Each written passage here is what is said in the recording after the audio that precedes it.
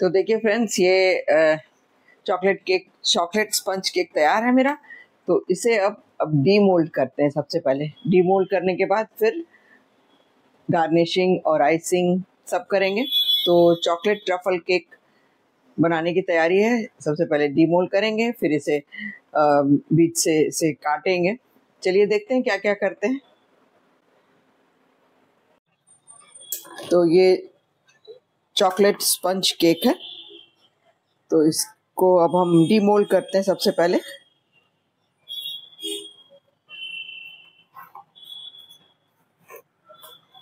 तो इसको हल्का हल्का चारों तरफ़ से थोड़ा सा हल्का सा एज को चाकू से इस तरह कर लेने से जो अगर कहीं पर थोड़ा सा चिपक रहा होगा केक तो वो चिपकेगा नहीं।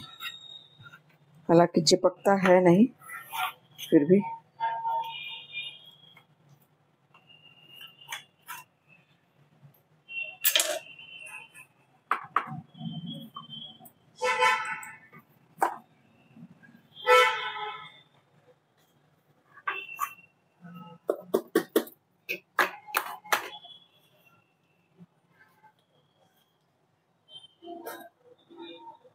ये देखिए बिल्कुल कहीं कुछ चिपका नहीं बहुत अच्छा केक बन गया है मेरा। और ये इसी तरह से इसे, ये बटर पेपर मैंने हटा दिया। ये देखिए, इसे अब बीच से यहाँ से काटूँगी, उसके बाद फिर बाकी प्रोसीजर करेंगे। तो पहले हम लोग चॉकलेट का जो गनाश है, वो बना लेते हैं। चलिए इसे रखते हैं और चॉकलेट का गनाश बनाते हैं। देखिए, चॉकलेट गनाश बनाने के लिए मैंने ये डार्क कंपाउंड लिया है और ये 400 ग्राम्स है। तो ये डार्क चॉकलेट 400 ग्राम्स है और इसका प्राइस 140 है। तो ज़्यादातर ये बाज़ार में मोडे का ही डार्क कंपाउंड चलता है। तो इसी से हम बनाते हैं। इसको कटिंग करके 400 ग्राम्स है तो हम लोग 200 ग्राम्स लेंगे। ये देखिए, ऐसा दिखता है, इसको यूँ तोड़ लेंगे। इन दोनों का हम बनाएँगे। तो सबसे पहले इसको इसको ना कटिंग कर लेंगे।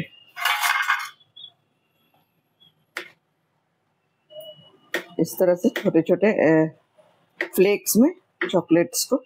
ताकि इनको गला, गलाने में जो भी हम इसमें गनाश बनाएँगे तो उसमें आसानी रहेगी। तो ये इस तरह से पूरे पूरे चॉकलेट को काट लेंगे। ये देखिए इसी तरह। इस तरह से पूरा सब काट लेंगे। तो ये देखिए इसे मैंने छोटे छोटे टुकड़ों में चॉकलेट्स को काट लिया। इस तरह।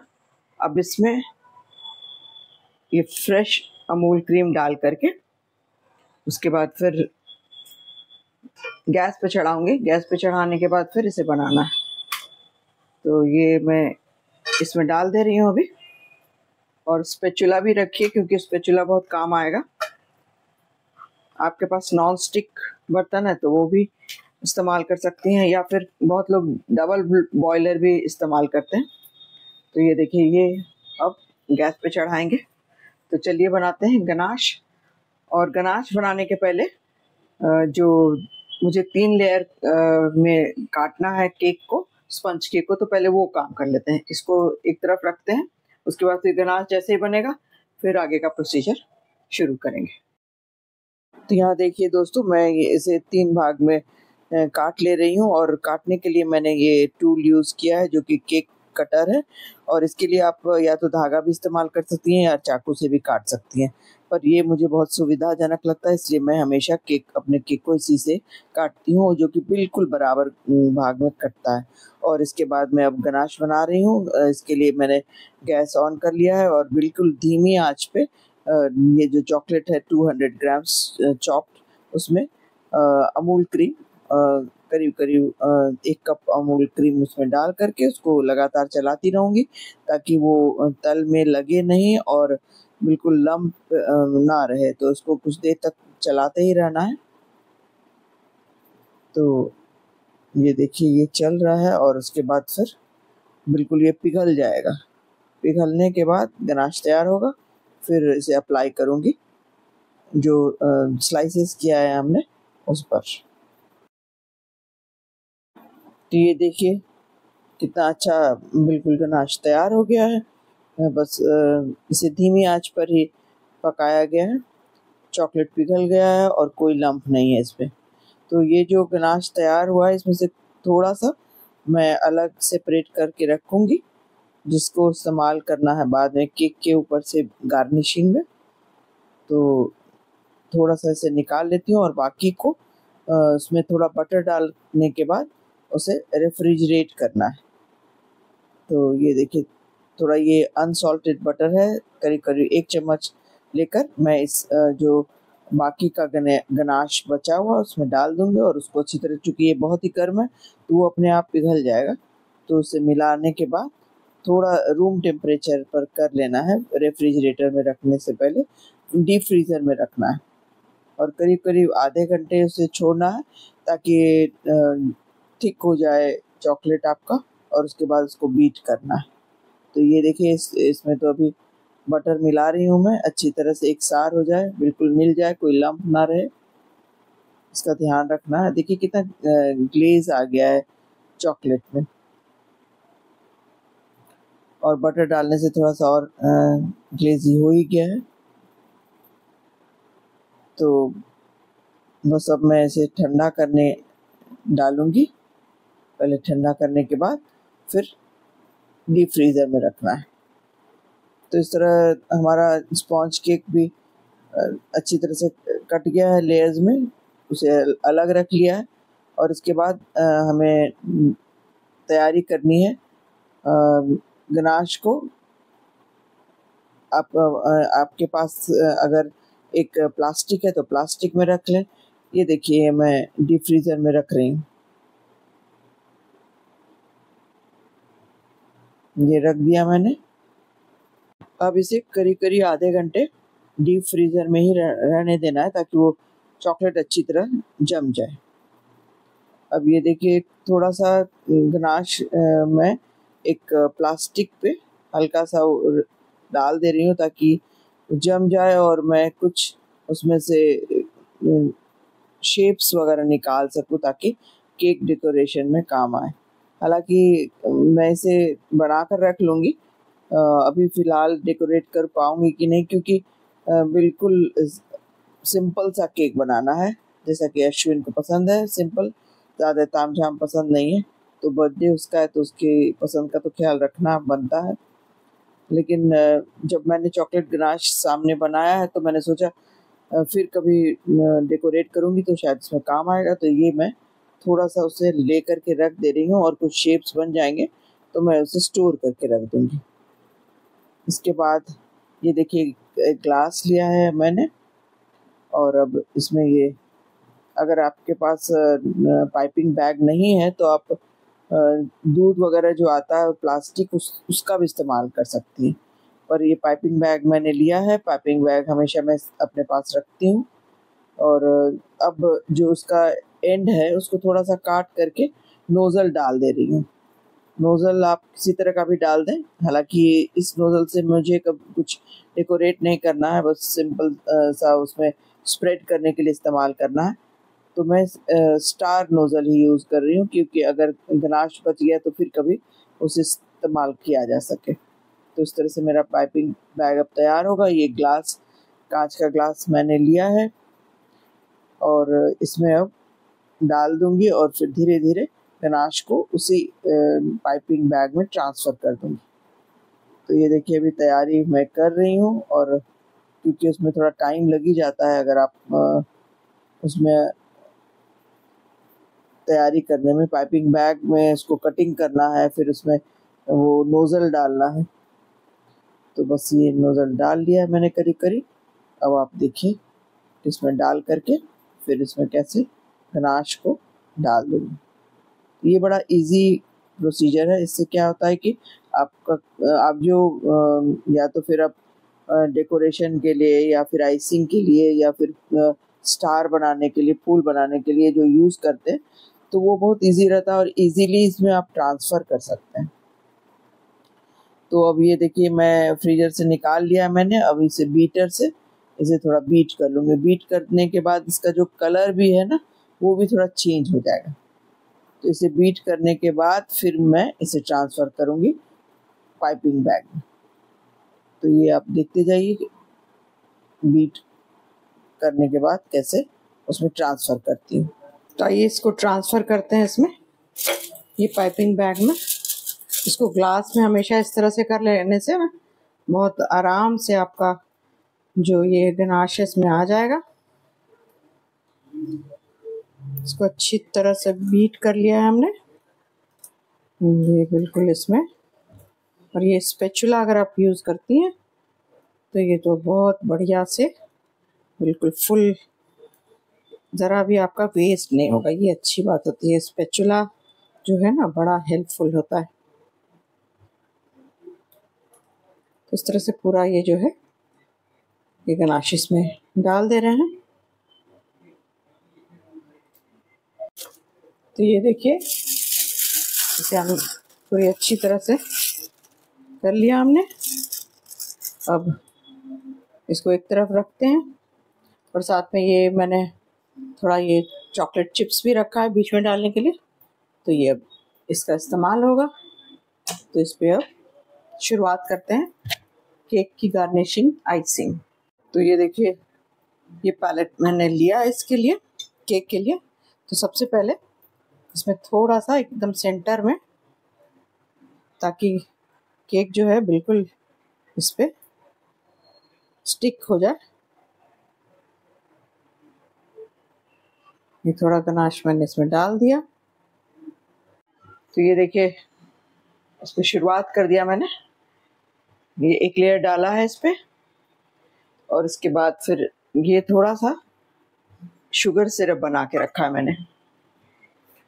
तो हल्का सा शुगर सिरप जो है, आप हल्का थोड़ा थोड़ा ही उसमें डाल दें।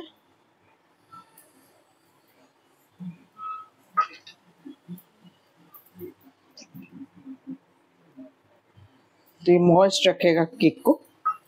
और इसके बाद एक एक करके फिर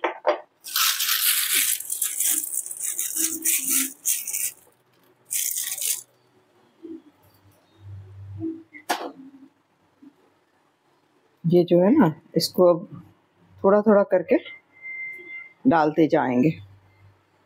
पतला पतला लेयर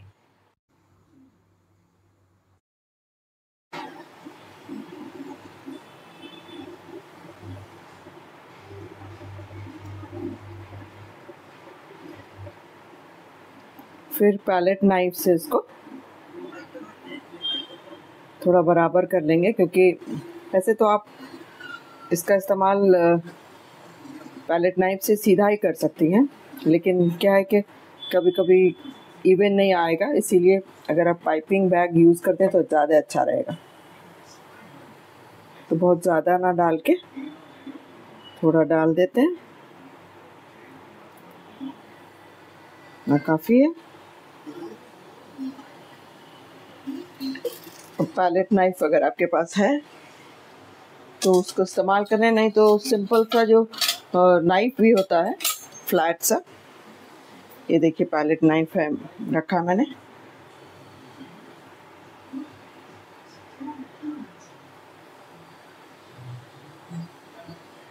बस इवन कर देना है सिर्फ़। इस तरह से इवन हो गया। अब इसमें ना थोड़ा सा ये चॉको चिप्स डाल देते हैं। ये आपके पास अगर है तो।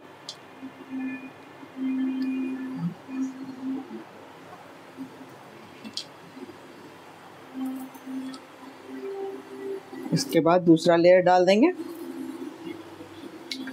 सेम प्रोसीजर करना है फिर से।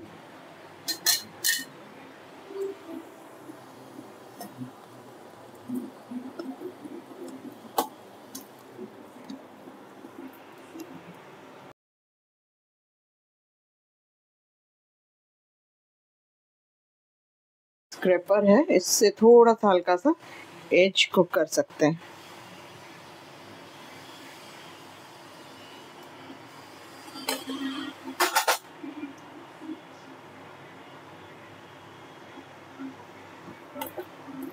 तो ये जो है एक्स्ट्रा जो आपका लेयर्स है चॉकलेट का, वो भी निकल जाएगा और इसमें एक डिज़ाइन सा आ जाएगा।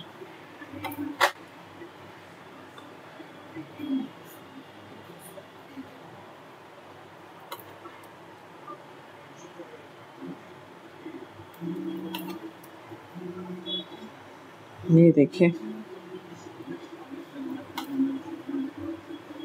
अब इसी से इसकी ना सफ़ाई भी कर लेते हैं।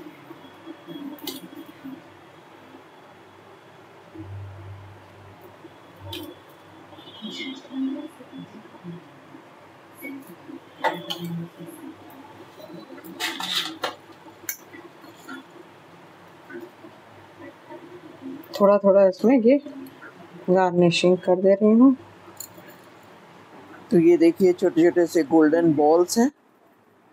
इसको चारों तरफ़ इसके केक के एजेस में डाल दे रही हूँ। और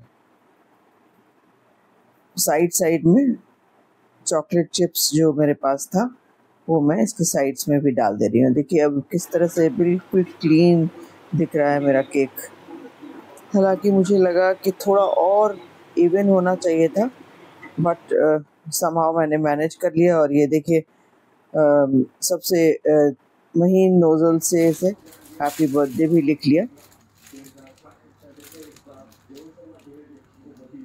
तो मेरा केक देखिए तैयार है। थोड़ा इसमें हल्का फुल्का डिज़ाइन बनाना बाकी था तो सोचा बना ही दें।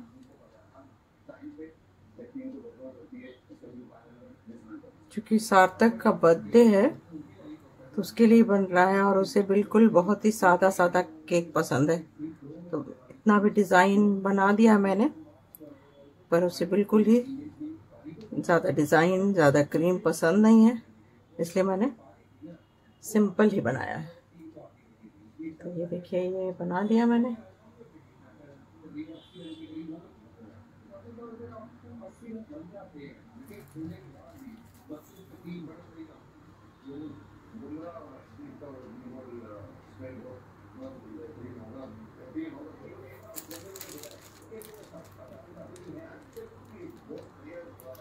तो ये फिनिशिंग हो गया है। अब ज़्यादा कुछ नहीं करना है, क्योंकि फिर सार्थक को पसंद नहीं आएगा। तो मैं अब इसे रखती हूँ, फिर सार्थक का इंतज़ार करती हूँ। वो जैसे आएगा, उसके बाद फिर केक काटेगा।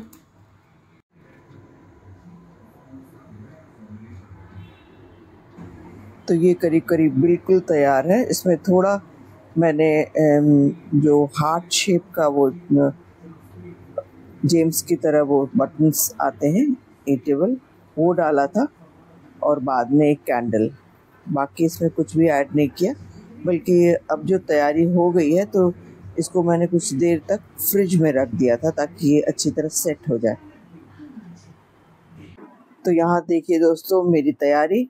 ये जो कार्ड्स आप देख रहे हैं, ये भी मैंने बनाया है और ये बनाकर फिर वहीं पर रख दिया और अब वो बस अपने जॉब से वापस आ रहा होगा। बारह बज रहा है। इधर बारह बज रहा है, केक तैयार है और उधर टी ट्वेंटी का भी, की भी खुशखबरी आई और इंडिया जीता और ये देखिए केक मुझे तो बहुत प्यारा सा लगा। और ये कार्ड्स भी उसे पसंद आएगा, उम्मीद है। तो बस अब इंतज़ार करते हैं उसका। तो हम लोग मैच देखने में व्यस्त थे तो मैंने सोचा एक क्लिप ले लूँ। हल्की फुल्की आवाज़ आपको टीवी की आ ही रही होगी। तो ये देखिए, ये नन्ना सा हमारा वियान तो शिखर, दीप्ति और वियान का रात में ही एक मैसेज आया, आप भी सुनिए। बोलो हैप्पी बर्थडे चाचू आई लव यू चाचू चाचू हैप्पी हैप्पी बर्थडे बोलो चाचू चाची आई आई लव आ यू एक किसी दे दो तो मेरे ख्याल से सार्थक के लिए बेस्ट गिफ्ट था अभियान की तरफ़ से और ये कुछ तस्वीरें हैं बर्थडे बॉय की। आप देखिए। और बस आखिर में उसने केक काटा वो भी आप देखिए। तो इस तरह से आज का दिन बहुत ही शुभ बीता। सुंदर सा एक सरल सा घर पर ही हमने उसका जन्मदिन मनाया। फिर दूसरे दिन हम लोग यानी कि तीस तारीख की शाम को हम लोग फू भी गए।